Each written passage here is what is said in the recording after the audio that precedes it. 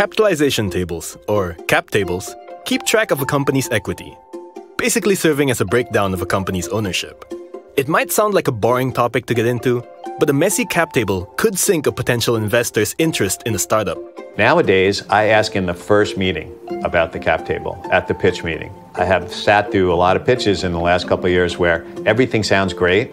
Um, I like the company, I like the product, I like the market space, I like the management team, but I realize this sounds too good to be true, and then ask about, well, can how about your cap table? And the whole thing melts down to nothing. Even though you can have the best numbers, you may not be able to fundraise. Right? It's as simple as the fact that you do not have a good cap table.